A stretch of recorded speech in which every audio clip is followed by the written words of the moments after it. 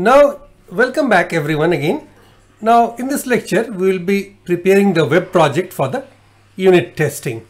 So what I will do is I will browse to the Microsoft repository and learn how to clone the sample code from Microsoft GitHub repository to use in this lecture and prepare a Visual Studio solution in Visual Studio 2019 community version with the sample projects cloned and I will run the main project because we'll have two projects. One is for the test and another is the main project to check the main project's functionalities before unit testing the controllers and that we will be doing in the next lecture in the third part. So if you like my videos, please share and subscribe with your friends and click on the bell no notification icon so that whenever I post a fresh video, you will be instantly notified. Okay, so let's switch over to the GitHub repository. Now I'll have to make a beginning somewhere, right? So I have to create a test project and a unit test project. So I have chosen the Microsoft repository for this purpose, which is ideal. So I'll uh, git, I will clone this GitHub repository by going to the root of this master and click on code and I will copy this to clone it. Okay, so I have said, I mean, I have enumerated the, I have uh, enlisted the entire project in my earlier lecture on, I think, state management or somewhere in this playlist in the ASP.NET Core 3.1 playlist, but I am happy to repeat the process again so that you, those of you who have missed that lecture can still learn. Okay.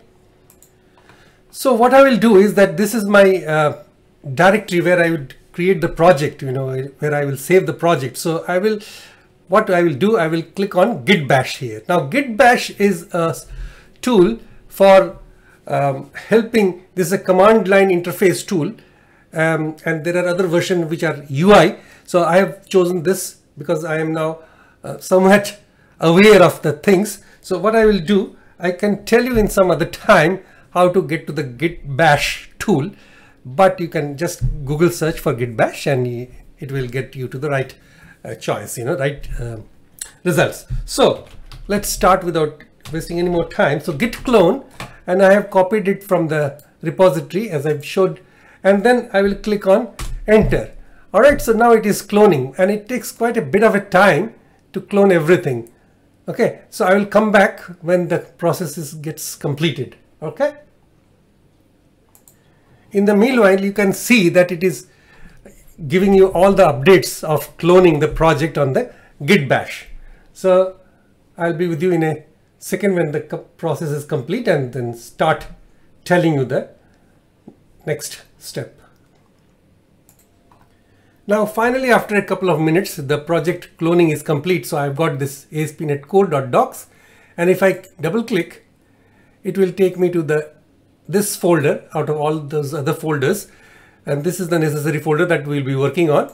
So ASP.NET Core and we have got this MVC and we have got all of this advanced compatibility controllers. So I will go for because this lecture is about controller testing. So I'll click on controller and then testing and these are all the samples and 3.x is 3. Um, is the version of ASP.NET Core and earlier it was 2.x now it is 3.x that is 3.0 and it is applicable for 3.1 or probably 3.2 if it is available. So let's see how to include them in the project. Okay so these are the source this is the source.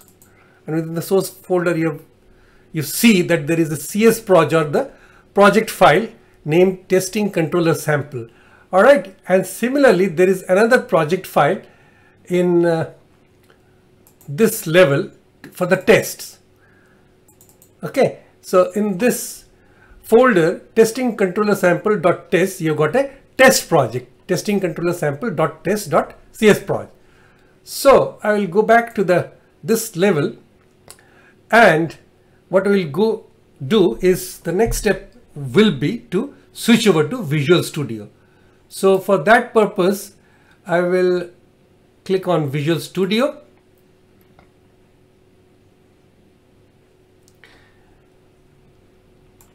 so Visual Studio. So as you can see that I've got Visual Studio 2019 open in front of me and I will click on continue without code. Okay, so when I continue without code, it just straight away opens.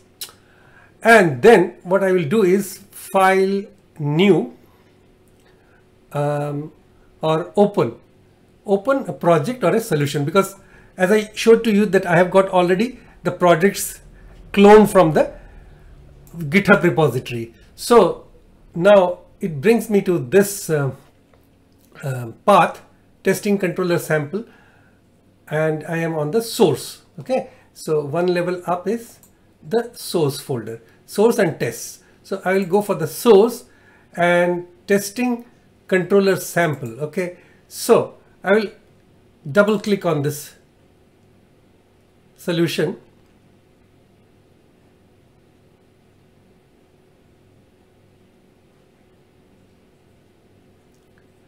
So this solution now has got this testing controller sample project.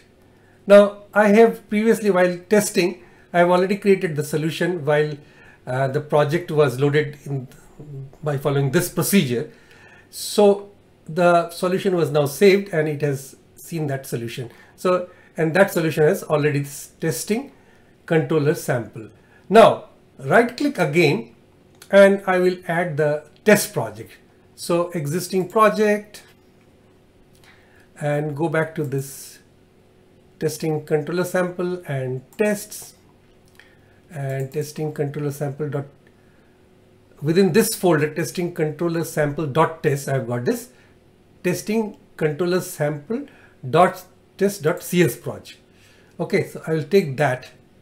Right so both of these projects are a part of my solution. Now this is already made as a startup project. So if I double click uh, if I just uh, try to run this application let's see what happens. Click on this IIS Express icon. Yuppie you've got on this localhost this port number. You've got this project right in front of you. Brainstorm sessions okay? So already one session was test session was created. And let me tell you that this project will be is built on uh, in-memory collection you know in memory um, uh, the database is there's no external database like SQL server or local uh, database but Microsoft has chosen this sample to be running on the in-memory collection okay? In-memory database. So let's try out a few things. New session name let me give another session. Uh, the test session one new session name. Uh, let's give it uh, my session. Something like this save. And uh, this is already saved and okay. So one idea is now within this session you can give uh, there was already idea count awesome idea and totally awesome idea. You can give another idea. Uh, say website redesign idea. Let's write whatever you'd like idea to redesign my website. Okay. Correct. So what is this? There's a typo small one. Okay. So click on save. So this is all saved for you. And you can return home. This is your home. So you have created your session and you have added uh, to the test session there was one idea and you have um, created another idea. I think you can create another idea on this my session. Yeah this you can idea name test description test idea. Okay so there you go. We have already tested. Now we'll leave at that. So now we have created our test project and added the unit test project as well. And I've shown you uh, what happens. And next time we'll come back and test the unit controllers you know like home controller and another controller session controller probably. Okay thank you. And if you like my channel if you like my videos please subscribe to uh, get more updates and share the channel and put your comments and likes and even dislikes. Thank you very much.